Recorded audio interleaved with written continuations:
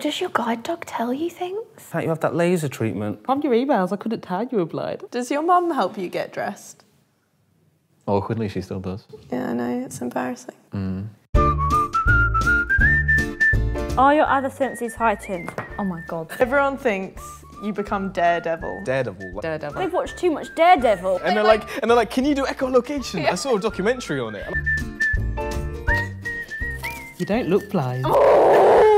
They think like if you're either blind or you're not. Mm. So like, you, if you're blind, you have to have a guide dog, or you have to have a mm-hmm. stick, or you have to have like sunglasses. They'll say, oh, but it's a compliment. And I'm like, how is a comment that's insulting the other two million people who live with sight loss a compliment? I get it a lot in the Paralympics as well. They say, well, you don't look like you're blind, so I bet I bet you're lying. I bet you're just doing that so you can run with like slower people. Yeah. And I'm like, well, you don't look stupid, but I'm pretty sure you are.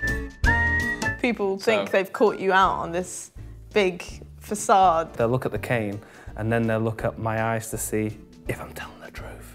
Even the term blind itself is really misleading because, you know, people can be registered blind but still have some vision left, like myself. It just means that your vision is to the level where it's not useful anymore. So it doesn't mean that you can't see shapes, that you can't see outlines, shadows. I've had literally comments on my YouTube videos where people are like trying to prove because out of some actions that I do on my videos, like mm. you look at those hair clips, which, me, which means your eyes must work. I've had it once before when I was walking down the street and someone said, You're not fucking blind.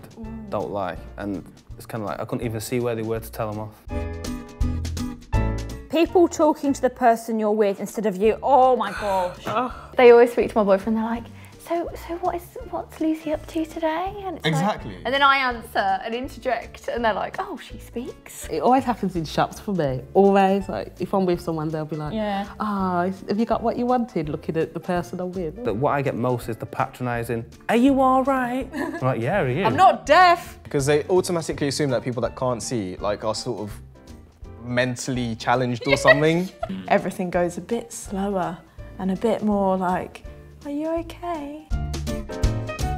There's so many times where someone's come up to me like, "Can she read the bus numbers?" I have had this so many times. They'll be like, oh, it's amazing how she can read the bus numbers. I did have a situation where a friend of mine, someone leant down, he was asking directions, someone leant down and spoke to the dog, said, go up there, turn left, take a right, to the dog, as if the dog could understand.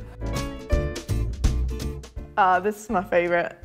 See you later. Oh, sorry. Oh, the amount of times I've had someone think that I'm going to get offended just at the word see. Yeah, they, they feel like they have to avoid their vocabulary and choose certain words.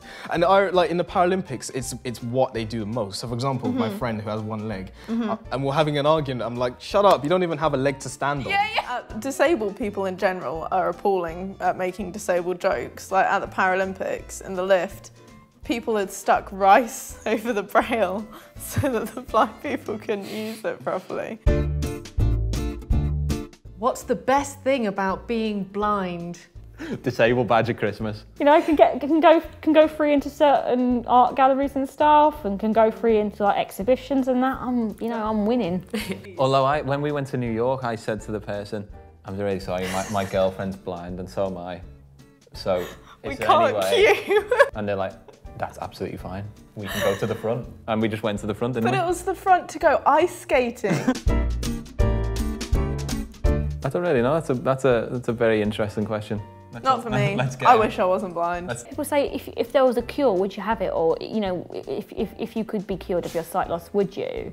And then like I say no. I say no. I'm quite happy in my own self. And then people are so shocked when you say that. Like I would be fully sighted if I could be. I mean, there are so many little things that you don't think about, like not being able to drive. The daily stress of being blind, having to plan everything. Plan everything. And I think there'll always be a part of me like I don't remember my mom's face anymore. I don't remember my boyfriend's face anymore, and that's sad. But if I don't accept that and overcome that, those fears and worries every day of my life, you're just going to be unhappy, aren't you? And then and then cute people say you're an inspiration, you know, or you're amazing because you're happy to have a disability, and it's like oh, You're okay. blind and you're happy. That's like, oh my god.